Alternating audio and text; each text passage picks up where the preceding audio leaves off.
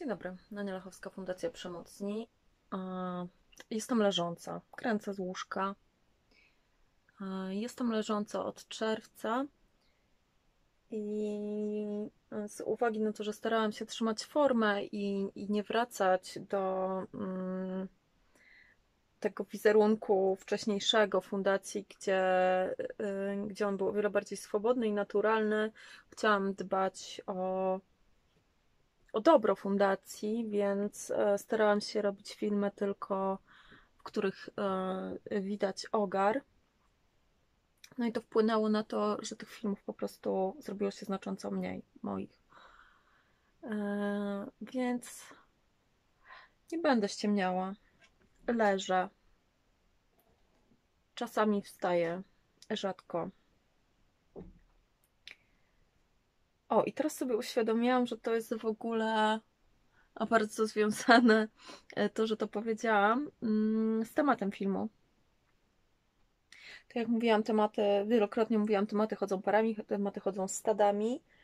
E, teraz to jest po prostu przemarsz, przemarsz wojsk. Temat bycia sobą pracuję już z naszymi najmałoletniejszymi małoletami nawet. No może nie, z dwulatką nad tym nie pracuję. Um, pracuję nad, nad tematem bycia sobą. E, jeden z naszych młodszych adeptów naszej e, szkoły magii bardzo się obawia, że edukacja i proces wychowania z różnych stron zmierza do tego, by on przestał być sobą.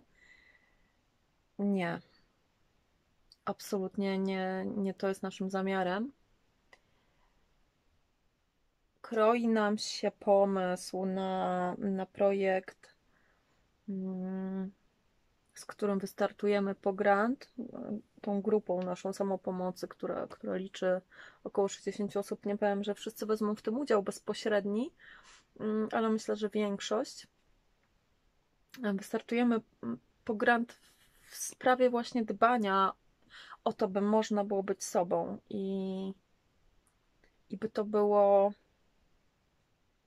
jasne i czytelne, że dla nas celem jest, tak, dla mnie, dla Heleny, nie wiem, dla Dagmary, dla osób, które mniej lub bardziej tworzą tę fundację, celem nadrzędnym jest to, żeby dorośli w tej fundacji, w tej grupie są pomocy i żeby nasze dzieci, mm, żebyśmy mogli być sobą, a nie e, jakąś biedną wersją e, nie wiadomo czego dostosowanego do, do świata e, ludzi neurotypowych. I to nie tych ludzi neurotypowych szczęśliwych, a po prostu do świata, który jest głęboko nieszczęśliwy. I w dodatku neuronalnie jeszcze od nas inny, więc my mamy jakby dwa powody do tego, żeby być nieszczęśliwymi. To znaczy, mm, nie dość, że nie pasujemy, to jeszcze nie pasujemy e, do świata, który doszedł do miejsca, w którym nawet większość jest nieszczęśliwa. Ktoś mi kiedyś e, zarzucił, że ja mówię w taki sposób, że nas się nie chce lubić, bo mówię, y, że to neurotypowi ludzie y, są szaleni. Nie, mówię, że świat jest szalony.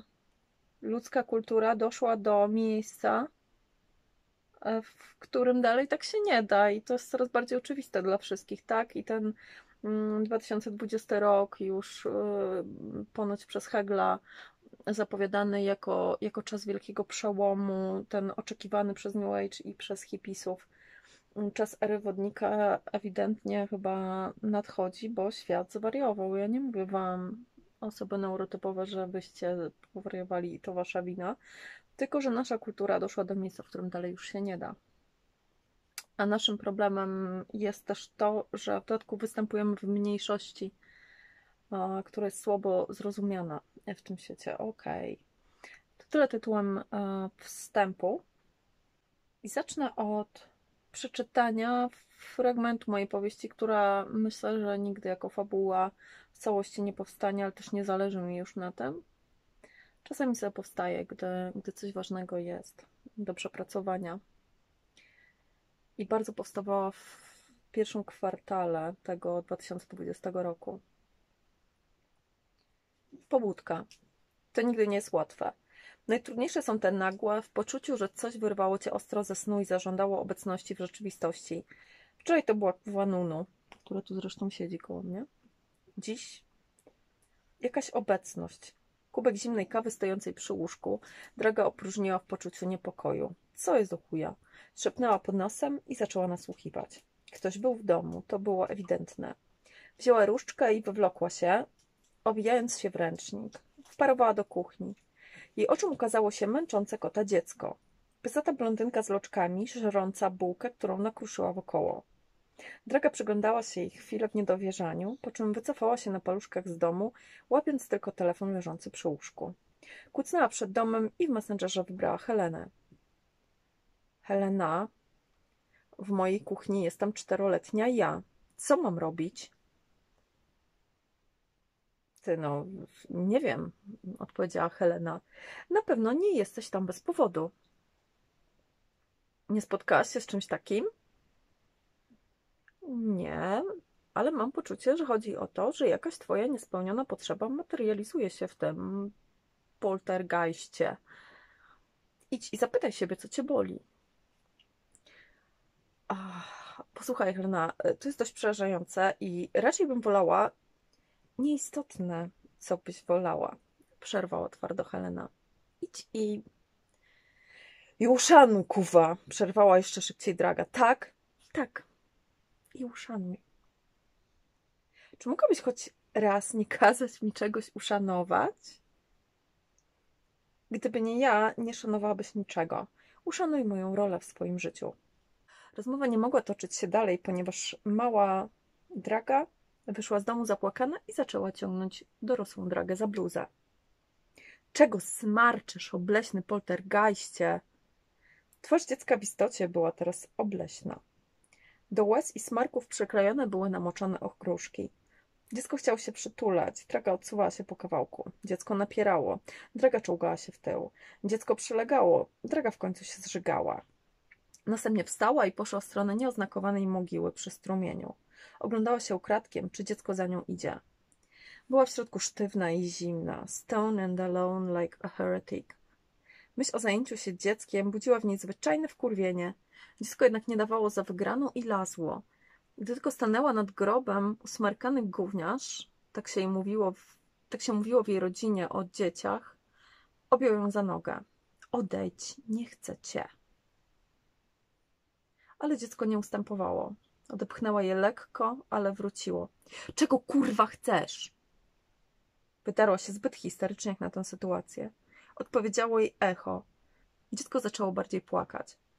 Pełna obrzydzenia i oporu zerwała duży liść i wytarła dziecku gębę. Wytarła z tych smarków, łez i okruszków, które razem stanowiły świętą trójcę żygopennych obiektów klasy A. Następnie z komediową miną, miną jakby czuła pod nosem ogromny smród, wzięła dziecko na ręce i poszła z nim w górę do domu. Czego chcesz? Zapytała znowu, konkretnie i nastawiona na cel. Dogadać się i skończyć tę surrealistyczną sytuację. Na rączki, odpowiedziała mam, mała. Kurwa, weź, przetarła oczy. Ja pierdolę, co ty robisz? Wrzuciłam to opowiadanie. Ja nawet nie pamiętam, czy ja je wrzuciłam, czy ja je w ogóle pisałam na bieżąco. A w naszej grupie Domek Wariatów. I dziewczyny mi zaczęły odpowiadać. Dagmara mi napisała, a ja bym z tą małą posiedziała i wytłumaczyła, że wszystko będzie dobrze. Dyskutowałam chwilę, Dagmara mi odpowiadała, poza tym na pewno jest bardzo fajna. I tak dalej. Próbowała mi pokazać po prostu jakieś ciepło, którego w, w moich symbolicznych wyobrażeniach dla mojego własnego wewnętrznego dziecka brakowało bo przecież jest jasne dla mnie, tak, mówię wprost, że to jestem czteroletnia ja. Ja się nie zachowuję w ten sposób do dzieci. Poza tym jednym, tak zwanym wewnętrznym dzieckiem. Przynajmniej jeszcze niedawno. Mm, pogadałam z dziewczynami, przede wszystkim z Dagmarą wtedy i zaczęłam pisać dalej. W komentarzu w ogóle pod tym postem. Na rączki! Młoda znów była na granicy płaczu. Nie, nie, nie, tylko nie płacz, znowu bo cię zajebie łopatą. Dziecko rozdarło się na cały regulator, draga wrzasnęła kurwa! Zupa telefon i wybiegła z domu. Zadzwoniła do Dagmary. Matka czwórki dzieci raczej będzie wiedziała, jak Bachora unieszkodliwić. Dagmara? No cześć, Dragusiu. Odpowiedziała Dagmara. Posłuchaj, mam taki problem. Czteroletnia gównia rozwaliła mi się na łeb. Dziewczynka? Ojej, zapiszczała zachwycona. A skąd ta dziewczynka? Jebany poltergeist. Ja w wieku czterech lat. O Boże, no to uroczo!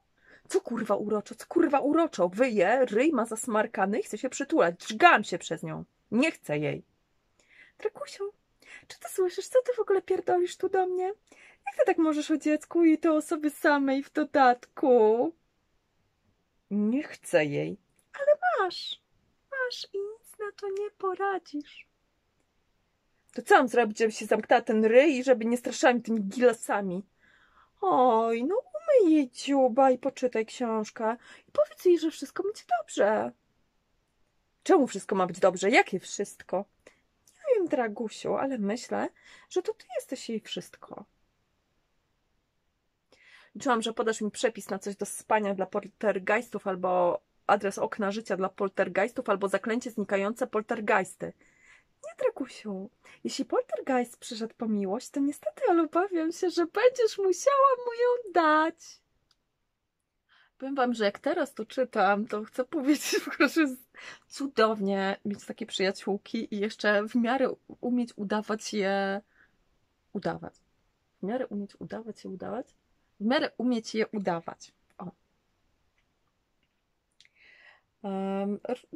Rozmawiałyśmy dalej w tych komentarzach i mi się dalej ulewało.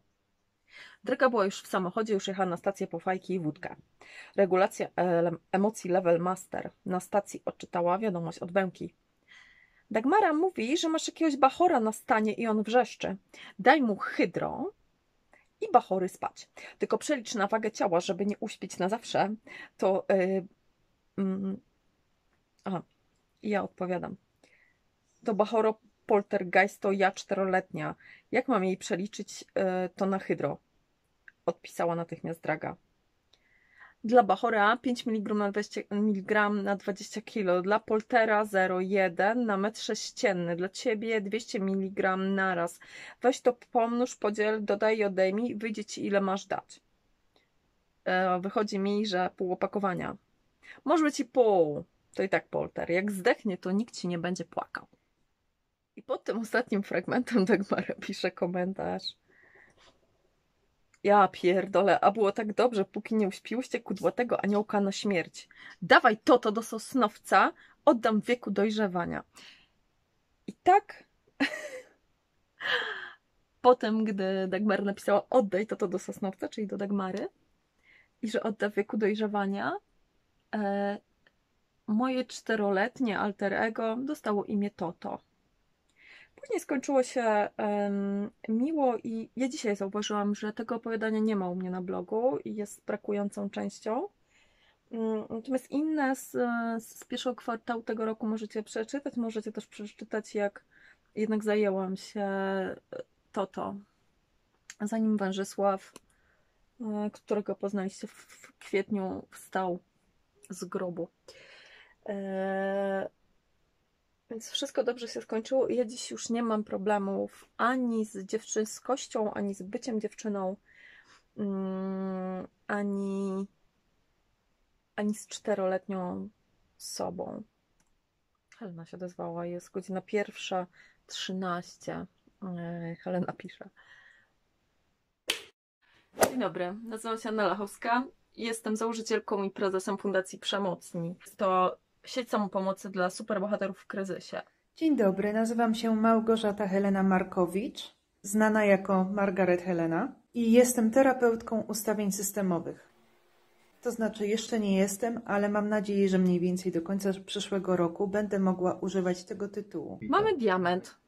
Mamy diament, ale nie mamy kasy na oszlifowanie go. I o tym jest ten film.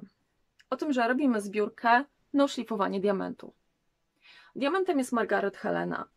Dziewczyna, która swoimi komentarzami zaczęła przyciągać ludzi, którzy szukali odpowiedzi, którzy szukali dla siebie pomocy, którzy szukali dla siebie rozwiązań i zrozumienia siebie. Sam jestem przykładem osoby, która zgłasza się do niej na konsultacje, których jestem bardzo zadowolony. Zawsze mogę na nią liczyć, na jej dobrą radę, dobre spostrzeżenia i wynikające z jej wiedzy, którą zdobywała sama we własnym zakresie. Trzeba teraz jej pomóc. Zauważyłam, że ludzie, którzy oglądają moje filmy, Helena była po prostu jedną z takich osób, tłumnie wręcz kierują się do Heleny, gdy ja nie mam czasu, żeby porozmawiać. I Helena w którymś momencie napisała do mnie i mówi, ludzie zadają mi pytania, ja z nimi rozmawiam. Ja już wiedziałam, że Helena jest dobra, bo Helena pomogła mi rozwiązać problem. Że od miesięcy prowadzę przy Fundacji Przemocnie konsultacje. Chcę to robić zawodowo, chcę rozwinąć się w tym kierunku, ale co jest istotne, potrzebuję mieć na to kurs, potrzebuję certyfikat. Jest też mnóstwo terapeutów, którzy nie rozumieją, czym jest autyzm, nie rozumieją ludzi autystycznych, próbują nas unormalnić, dostosować do tego, jaki ma być neurotypowy człowiek, którym my nigdy nie będziemy. I w efekcie robią nam wielką krzywdę. Nasi klienci, nasi współpracownicy i nasi podopieczni mówią, że to, jak my im pomogłyśmy, jest nieporównywalne z latami terapii. To, jak my go jesteśmy w stanie zrozumieć we dwie, to jest, to jest po prostu kosmos. Dlaczego terapia ustawień systemowych?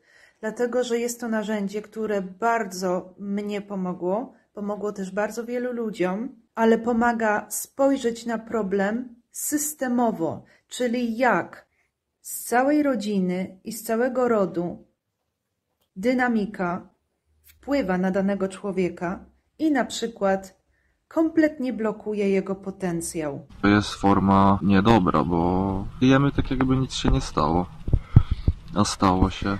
I to, co ja chcę zrobić, to nauczyć się patrzeć, mieć lepsze wglądy, widzieć te dynamiki, pomagać ludziom je dostrzec, pomagać im uwolnić ich potencjał. Ja nie chcę być terapeutą, który mówi ludziom, co mają robić. Ja chcę być kimś, kto będzie towarzyszył w drodze do poznawania siebie. Heleny wybrali też jej nauczyciele. Powinna się tym zająć, że ma do tego talent, że powinna zdobyć uprawnienia. Papier niestety w naszych czasach gra ogromną rolę. Ja mam inną filozofię życia. My dajemy, a świat nam odda.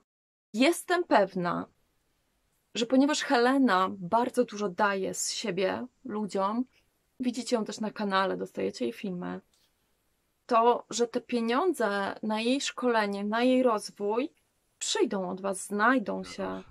Co, A teraz mam taką okazję i wy też macie taką okazję. co po to, żeby Helena mogła dawać to, co najlepsze, a nie pracować bardzo ciężko fizycznie, tak jak dotąd pracuje, żeby zarobić jeszcze na szkoleniu. A dlaczego zbiórkę robimy? Dlatego, że Margaret po prostu e, nie jest e, milionerką, a poza tym chce pracować dla fundacji, a poza tym robi, robi wolontariat już, już bardzo długo. No i to jest taka inwestycja nas wszystkich, e, to żeby ta fundacja działała jak najlepiej, bo robi bardzo dobrą robotę, a chcemy, żeby robiła jeszcze lepszą. Dziękuję. Dlaczego ja wam to czytam? Dlaczego cały ten wstęp? Dlaczego to opowiadanie? To opowiadanie to w ogóle dzisiaj mi się przypomniało w, podczas konsultacji jednych. A kilka dni temu nagrałam prywatny film do, do naszego młodego gniewnego, w którym po, poprosiłam go, by skoro tak bardzo się wścieka o to, że nie chce stracić siebie, i że prędzej się zabije, niż przestanie być sobą, niż pozwoli światu zmienić siebie, poprosiłam go o jedną rzecz, którą teraz chciałabym zadać Wam. Na pewno to się znajdzie, to bez wątpienia w naszym programie pracy własnej nad sobą. Zmieniłyśmy nazwę autoterapia, bo oczywiście nasi hejterzy mm, używali jakiegoś głupiego argumentu, że my nie mamy prawa prowadzić terapii i skoro nazywamy to program autoterapii, to oni doniosą na nas i nam zamkną tą fundację. Mm, Więc nie ma sprawy, hejterzy. Zmieniliśmy nazwę z programu autoterapii na e, program e, pracy samemu nad sobą i mam nadzieję jest lepiej teraz i nie macie się na co przysrać i musicie szukać e, następnego. Więc na pewno się znajdzie ten, e, te- ten film w tym programie już nie autoterapii. Więc, ale, ale to jest też takie dla Was. Dla Was, którzy nie korzystacie z tego programu, to jest dla Was, którzy korzystacie z tego programu, a nie doszliście do tego miejsca. To jest dla Was na zawsze. Powiedz mi, bo Ty też to pewnie czujesz, że prędzej wolałbyś umrzeć, niż przestać być sobą. Albo może jest już tak, że Ty już nie wiesz, kim jesteś. Dawno siebie straciłeś kimś kiedyś byłeś, ale postanowiłeś się dostosować do, do świata i już nie jesteś. Powiedz mi, kim byłeś, albo kim jesteś. Powiedz mi, co to znaczy być tobą.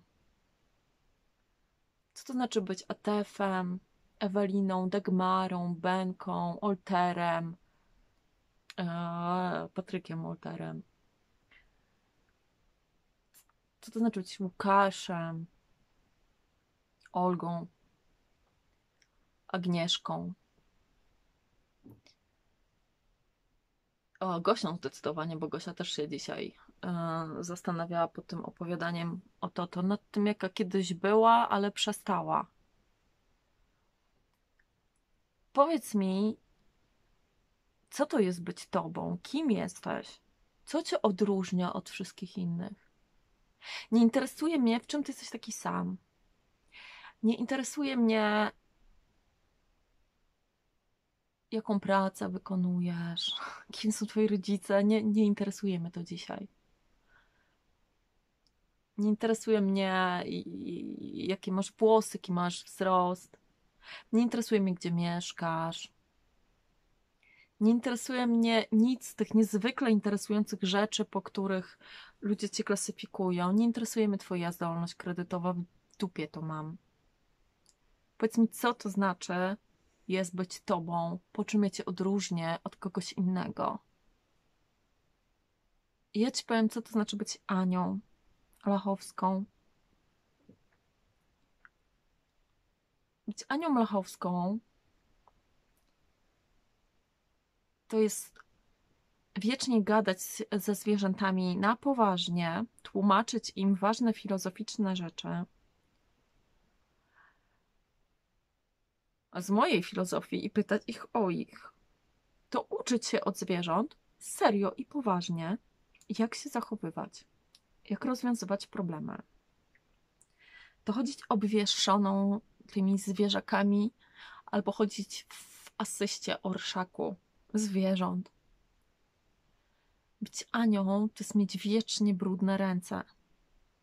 Mycie tysiąc razy, a one i tak zawsze będą brudne.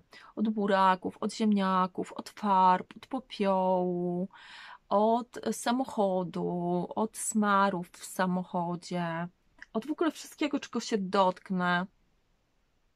Od własnego syfu, które generuje wokół siebie jak tornado. Być Anią to się śmiać z tego, że generuje wokół siebie syf jak tornado. Być Anią to widzieć tak ogromne systemy,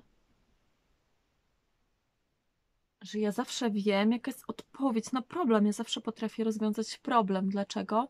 No bo ja po prostu widzę wszystkie dane. Być Anią to potrafić stworzyć tę fundację i ją prowadzić i mieć pomysł na jej rozwój, dlatego że ja zawsze patrzę na mocne, a nie na słabe strony innych ludzi i swoje. Więc zanim ktoś zobaczy w sobie wartość, ja już wiem, co on mógłby robić w naszym systemie. Jak mógłby się rozwijać. Być Anią to niełatwo rozumieć cudze problemy. To pytać się y, Heleny o to, co widzi, jaki ma obraz, gdy z kimś rozmawia, bo ja nie rozumiem. Być Anią to mieć najlepsze sny na świecie. Prowadzić równoległe życie w tych snach, oglądać tam takie filmy, że później już mi się nie chce oglądać filmów. Ale być Anią to też nudzić się na filmach, bo ma się takie ADHD.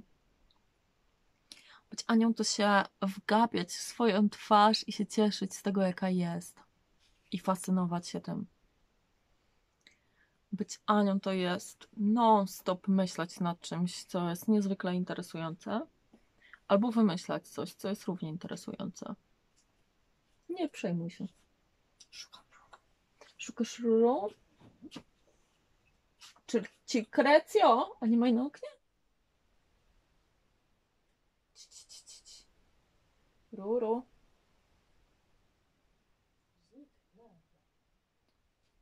Kuwanunu jest tylko. W kuchni tu idzie teraz. Stoi na środku kuchni.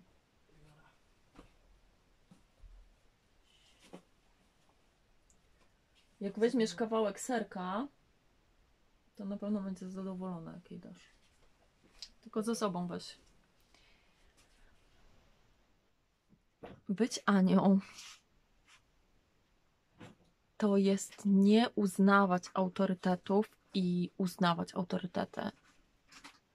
To znaczy, jeśli ktoś jest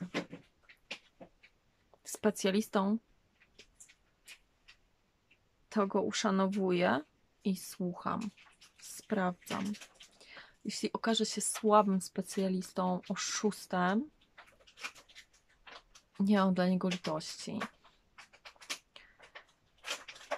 A na to, żeby być moim autorytetem, trzeba po prostu zasłużyć. Szanuję wszystkich na wstępie, ale jeśli pokażesz, że sam siebie nie szanujesz, to ja mówiąc szczerze i od serca, co myślę o tym, co powiedziałeś, cię zniszczę, nie mając nawet takiej intencji. Więc być Anią to być osobą nienawidzoną za niewyparzony język, za brutalne podsumowania. Być Anią to mieć wieczne kłopoty i idiotyczne przygody, takie jak ostatnia przygoda moja i Remigiusza na przykład wydachowanie auta na własnym podwórku. Głupie przygody zdarzają mi się cały czas. Być Anią to jest od dziecka marzyć o tym, yy, żeby być czarownicą. Nie królewną, nie księżniczką, tylko czarownicą. Być Anią to stwierdzać, że jedno mam życie i marzenia chcę realizować. Skoro chcę być czarownicą, no to pora nabyć chatkę w lesie na jaszczurzej nóżce i zacząć uprawiać magię, niezależnie od tego, co kto na ten temat sądzi. Być Anią to doskonale dogadywać się z dziećmi. Być Anią to nie bać się ludzi. Co często oznacza wchodzenie w bardzo ryzykowne sytuacje. Ale być Anią to być szaleńcem Bożym. Ja mam backup tam na górze. Mnie coś prowadzi. Jak ktoś chce nasłać na mnie jakiegoś psychiatry, to dawajcie.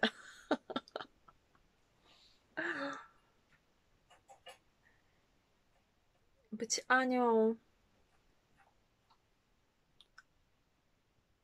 to mieć stałe przekonanie od dawna, że ja potrafię kochać i wiem, czym jest miłość. I dajcie mi tylko kogoś, kto będzie na tyle dojrzały, żeby to przyjąć, a zbuduje znakomitą relację. Od niedawna mam takich ludzi wokół siebie. Od niedawna widać, jestem gotowa dopiero na to, żeby ich mieć.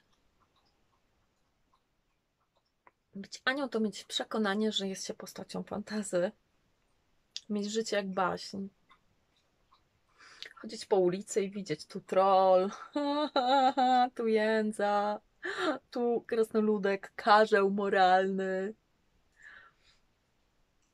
A tutaj wróżka e, z tych głupiutkich, nieszkodliwych, ale głupiutkich. Być Anią to nie wytrzymywać i nie chcieć wytrzymywać sytuacji, które są w jakiś sposób nieprawdziwe i niesłużące rozwojowi, wolności, szczerości. Być Anią to być częstym obiektem ataków dementorów. To znać lęk z każdej strony. To być w mroku bardzo długie lata na własne życzenie, w poszukiwaniu siebie, w poszukiwaniu kwiatu paproci, w poszukiwaniu skarbu, w poszukiwaniu swojej chatki w środku mrocznego lasu. Być Anią to jest być kimś absolutnie ekstremalnym. I, i lubić ciastka, mówi Jonasz. Tak, Jonasz zawsze mi kupuje ciastka. Zdecydowanie lubić ciastka. Cieszyć się z drobnych rzeczy. Tłumaczyć psu, że śmierdzi. Hmm. To być przekonaną, że yy, rzeczy używane i ludzie po przejściach yy, są o wiele ciekawsi niż rzeczy nowe i ludzie, którzy nic nie przeżyli.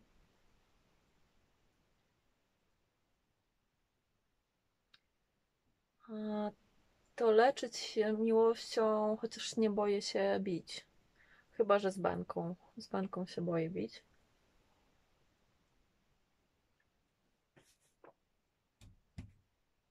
To jest być mną. A co to znaczy być tobą? Co sprawia, że ty wstajesz codziennie rano? Lęk czy pragnienie? Pragnienie czego? Nadzieja na co? Lęk? O co? Przed czym? Co sprawia, że ty oglądasz moje filmy? Nadzieja? Na co? Poczucie radości? Że widzisz kogoś podobnego do siebie? W czym? A może poczucie, że ty musisz zrobić ze sobą porządek i po prostu takie neurotyczne szukanie pomocy i wiedzy gdziekolwiek? Dlaczego? A jeśli jest z tobą coś nie w porządku, to co? Skąd wiesz, że to jest nie w porządku? Kto ci to powiedział? Czy sam sobie to powiedziałeś? Co to znaczy, że jest z tobą coś nie w porządku? Cierpisz? A co by sprawiło, żebyś nie cierpiał? Czego szukasz w życiu? O czym marzysz? Nie masz marzeń? Dlaczego nie masz marzeń? To jest dramat. Jeśli nie masz marzeń, to jest dramat. Przypomnij sobie marzenia, na pewno kiedyś je miałeś. Nie ma bata, żebyś całe życie przeżył przez ma bez marzeń, po prostu musiałeś się zapomnieć.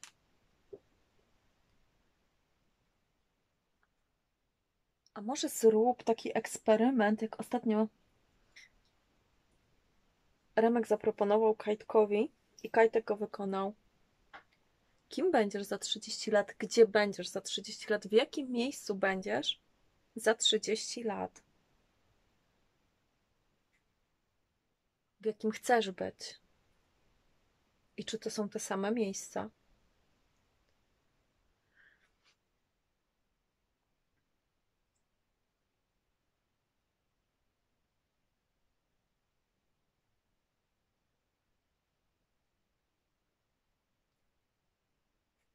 Jeśli, jeśli teraz już nie wiesz, co to znaczy być tobą, bo już nie masz siebie,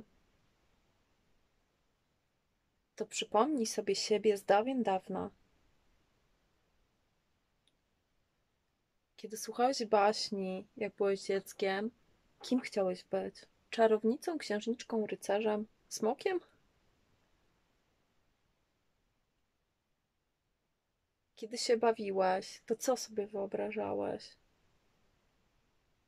W jakiej roli siebie obstawiałeś? Kiedy marzyłaś o czymś, o jakichś super wakacjach, super weekendzie, to jak one wyglądały? A jeśli płakałeś, to z jakiego powodu? Czułeś, że tracisz co? Co jest tak ważne, że stratę tego opłakiwałeś? Co było tak ważne, a może dziś już nie jest, bo jesteś uodporniony, czyli tak naprawdę zamrożony.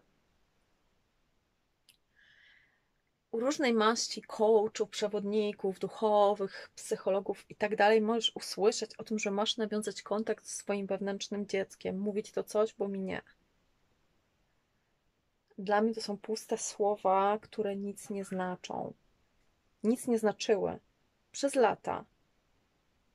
Psychopierdololo. Nie docierające do mnie wcale. Przytul swoje wewnętrzne dziecko. What the fuck? Co ja zrobił? W ogóle co? Mnie to żenowało wręcz. I nadal, jak jest tak ujmowane, to czuję pewien e, poziom zażenowania. Ale jak napisałam to opowiadanie o to, to tak po prostu. Leżałam sobie, był późny wieczór, może noc, coś się we mnie gotowało i po prostu tak nagle mi się ulało. Kiedy zaczynałam pisać pierwsze zdanie, to w ogóle nie miałam koncepcji na drugie a co dopiero na dziesiąta. W ogóle nie wiedziałam o co mi chodzi. To po prostu płynęło. To, to jak to przeczytałam i zobaczyłam reakcję Dagmary. Porozmawiałam z Dagmarą, dopisałam dalej, potem dalej i dalej, rozmawiałam z Heleną. I tak dopisywałam kolejne fragmenty, to zrozumiałam, co chodzi z tym wewnętrznym dzieckiem i z tym, żeby je przytulić ale nie wiem, może do ludzi neurotypowych język taki po wierzchu dociera, ale wiem, że do nas nie. Więc co ja ci powiem o tym wewnętrznym dziecku, co do mnie dotarło wtedy i dotarło dzisiaj, bo dzisiaj też kazałam komuś to zrobić. Powiedziałam tak. Słuchaj, Lala ty masz rozdwojenie jaźni. W tym podświadomym obszarze masz rozdwojenie jaźni. Zmierzasz ku integracji. Twoim celem jest integracja. Tak jak Jung to mówi, tak jak to, to mówi w ogóle psychoanaliza, ale też inne szkoły psychologii, psychiatrii i, i, i nauk duchowych mówią, że zmierzamy ku integracji elementów osobowości Więc nie jest dziwne, że masz jakieś rozdwojenie jaźni albo wręcz jej całkowite rozczłonkowanie na ileś. I osoba, z którą dzisiaj rozmawiałam, ma skrypt superbohatera, Ratola, bardzo destrukcyjny. Tym bardziej niebezpieczny, że powszechnie budzący podziw a jest e, destrukcyjny po prostu, destrukcyjny, autodestrukcyjny, narcystyczny, jest niebezpieczny, jest izolujący e, od ludzi, jest uniemożliwiający wejście w ogóle w relacje partnerskie, są tylko zależnościowo opiekuńcze, niezależnie w którą stronę. Sam życiowy dramat.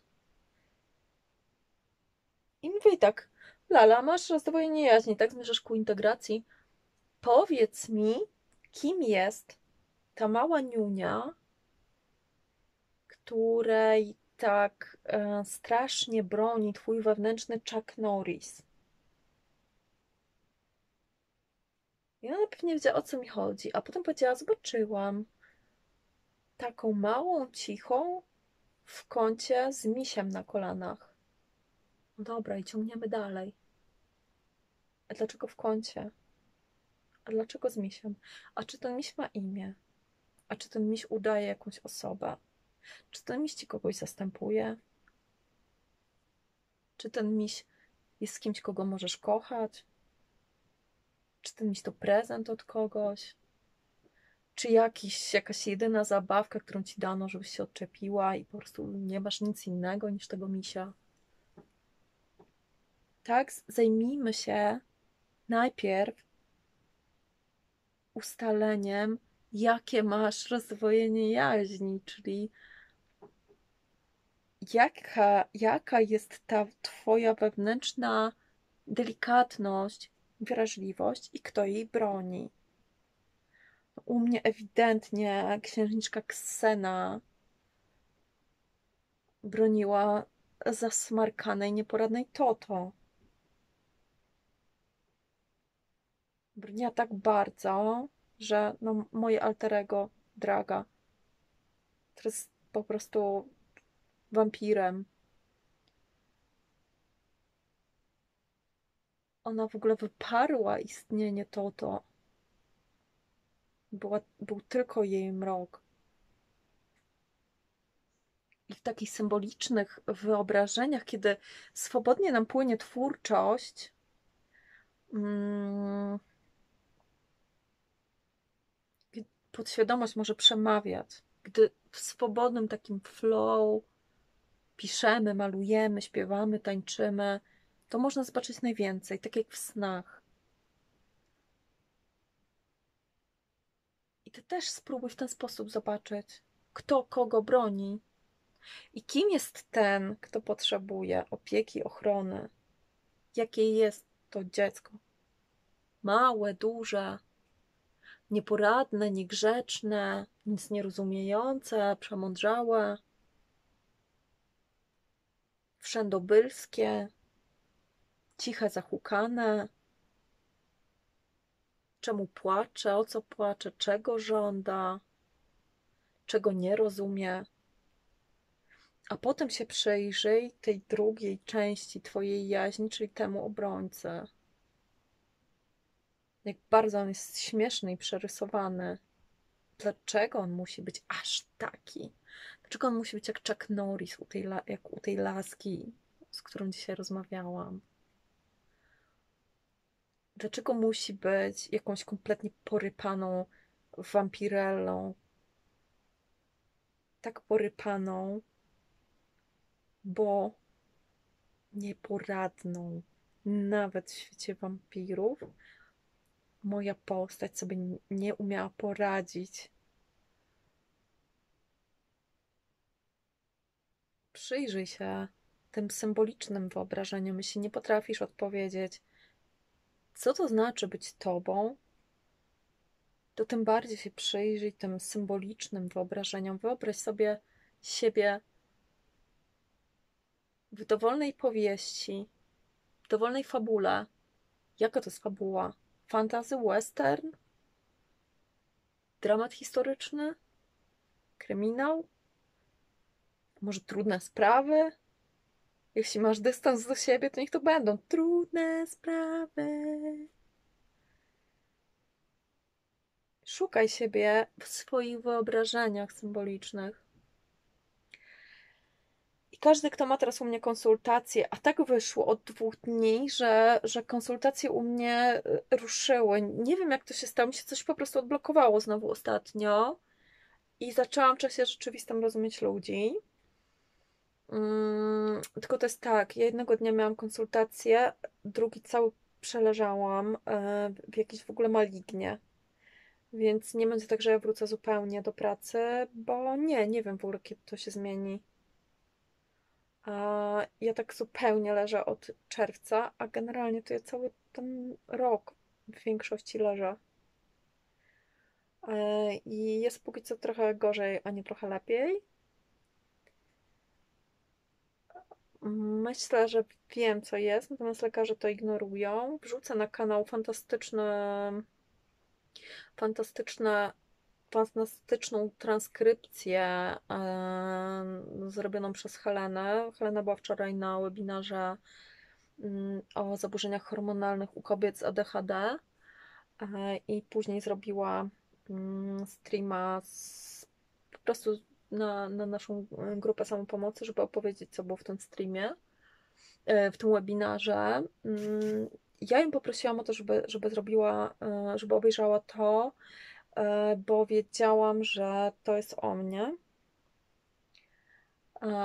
No i tak, to jest wypisz, wymaluję. Akurat moje, tak jak autyzmu jestem świadoma od kilku lat, tak ADHD jestem świadoma odkąd no grubo ponad 15 lat temu robiłam uprawnienia terapeuty ADHD, a wyszłam z metodami na siebie i z, z bardzo wyraźnym dowodem na to, że nie jestem w stanie pracować z dziećmi z ADHD, bo ja sama po prostu mam ADHD. Yy, tak więc nie, nie liczcie na jakieś gremialne konsultacje. Natomiast te konsultacje, które były zawieszone, ja powoli jestem w stanie ciągnąć. I ja się będę do Was odzywać. Jeśli umożliwicie mi to, żebym to ja się do Was odzywała, e, to te konsultacje będą z powrotem dalej przebiegały. Więc te osoby, które mają te konsultacje, niech w najbliższym czasie mi napiszą, co to znaczy jest być Tobą. I jeśli potrafisz to to opisz mi też o Twoim rozdwojeniu, czy też o rozczłonkowaniu jaźni. Jeśli masz konsultację u Heleny, to, y, to napisz to do niej. Jeśli u Grześka, to też oczywiście napisz do Grześka. Zachęcam do konsultacji u Grześka. U Grześka są inne, bardziej rzeczowe, mniej takie wglądowe, bardzo oparte na E, na problemie Grzesiek jest zdecydowanie e, nastawiony na rozwiązania. Jeśli potrzebujesz po męsku konkretnie rozwiązać jakiś problem DDA, DDD, jakiś problem, że stanąłeś w miejscu w swoim życiu na chwilę i nie wiesz, co dalej robić i jakby nie trzeba w tobie grzebać, nie, nie potrzeba ci w ogóle mm, takich podstaw do tego, żebyś ty w ogóle zrozumiał, o co ci chodzi, tylko wiesz, o co ci chodzi i masz konkretne problemy, to Grzegorz jest dla ciebie najwłaściwszą osobą. A więc też do tego zachęcam. Mm, I wtedy napisz to jemu. E, a wszystkie inne osoby niech zrobią to dla siebie, niech powiedzą o tym swoim terapeutom, bo o tym wyobrażeniu, o tym, że ja zaproponowałam takie ćwiczenie i je zrobiliście, bo przecież i osoby, które są u nas w programie mentoringowym, w programie e, samodzielnej pracy nad sobą, my wysyłamy do terapeutów i do psychiatrów i zachęcamy Was wszystkich do tego, żeby e, z takiej pomocy korzystać. I tutaj znowu po prostu e, moi hejterzy, którzy mnie straszycie zniszczeniem mnie za to, że ja robię terapię, no możecie mnie pocałować, ponieważ ja nie robię terapii, świadczę poradnictwo. W mojej fundacji świadczy się poradnictwo, świadczy się konsultacje takie jak w programie sponsoringu WA i wszystkich, ale to absolutnie wszystkich. Serdecznie zachęcamy do korzystania również z usług terapeutów i psychiatrów i proponujemy łączenie terapii z pracą u nas bo jest to wtedy najbardziej kompleksowe i najbardziej skuteczne. Ale oczywiście wiadomo, że zawsze znajdzie się ktoś, kto nie chce nad sobą pracować, więc skupi się na tym, że nie można mu pomóc, bo się jest złym, nieudolnym, podszywającym się pod jakieś uprawnienia, niby pseudo terapeutą. Pozdrawiam wszystkich, którzy tak twierdzą, wszystkie panie, które tak twierdzą. E, Pozdrawiam panie z ich recenzjami na naszej stronie. Panie, z których większość nawet nie miała z nami bezpośrednio do czynienia, tylko je boli w dupę to, że Ania jest jaka jest. I tyle. A wszystkich zadowolonych zachęcam do y, pisania recenzji na fanpage'u y, fundacji na Facebooku. No, ponieważ wścieklice się ostatnio znowu aktywowały i znowu nasmarowały jakiś y, główien. Dziękuję bardzo. E, Pani, dogrywam ten fragment, bo już mówiłam o tym filmie mm, u, u nas w grupie komuś i dostałam pytanie, mm, że jak mam opowiedzieć, to czym mogę opisać. Odpowiedź na pytanie o to, jak to jest być tobą, daj mi w najlepszej dla siebie formie. Nieważne, czy to nagrasz, e, czy to nagrasz z dźwiękiem, czy, znaczy z dźwiękiem, czy bez dźwięku. E, raczej z obrazem czy bez obrazu, a może właśnie nagrasz obraz bez dźwięku, nie wiem, chcesz zatańczyć, chcesz namalować, wyrzeźbić, cokolwiek e, chcesz. To jest moje szczere pytanie o to, co to znaczy być tobą, więc odpowiedz mi najbardziej zgodzie ze sobą. Potrzebujesz pomocy? Przeczytaj opis pod filmem. Chcesz pomóc? Przeczytaj opis pod filmem.